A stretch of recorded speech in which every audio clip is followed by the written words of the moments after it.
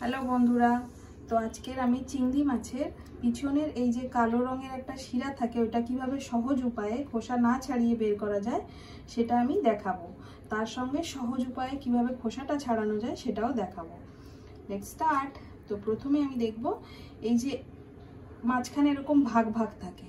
এই এই অংশগুলোতে কোনো শক্ত অংশ থাকে না, নরম অংশ থাকে। তো একটা সেফটি পিন নেব আমি। সেফটি পিন নিয়ে এইবারে এই নরম অংশটা এখানে আস্তে করে ঢোকাবো।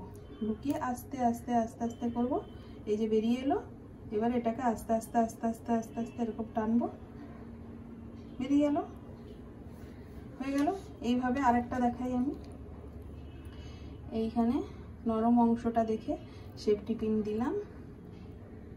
দিয়ে আস্তে আস্তে আস্তে করে এই বেরিয়ে গেল। এইবার এটাকে আস্তে আস্তে আস্তে আস্তে টানলে বেরিয়ে গেল। এইভাবে আমি পুরো ছাড়াবো। এবার আমি চিংড়ির খোসাটা কীভাবে ছাড়াতে হয় সহজ উপায় সেটা দেখাচ্ছি। প্রথমে এই চিংড়ির দাড়ি, চিংড়ির দাড়িগুলোকে কেটে নিলাম। মাথার এখানটায় হাল, এরকম হালকা নয়, একটু জোরে চাপ দিলে এই যে মাথার খোসাটা বেরিয়ে এলো। এবারে লেজের এখানটায় এরকম চাপ দিলে জোরে লেজের খোসা বেরিয়ে এলো।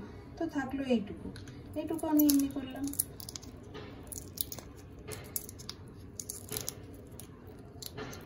হয়ে গেল।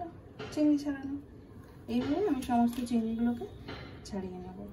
ইজি পিজি আর কেউ যদি এরকম শুধু গোটা গোটা অনেকে রান্না করে, আমিও করি মাঝে মাঝে বিভিন্ন পদে। তো এরকম করে এখানটা বের করে নিলাম, হয়ে গেল। থ্যাংক ইউ তো খোসা ছাড়ানো অবস্থায় সিম্পল তাও একবার দেখিয়ে দিলাম, খোসা ছাড়ানো হয়ে গেছে। এটা আরামসে হয়ে যায়, খোসা সমেত একটু কঠিন হয়। এই যে বেরিয়ে গেল কালোটা। এই আস্তে আস্তে টানলে বেরিয়ে গেল ওকে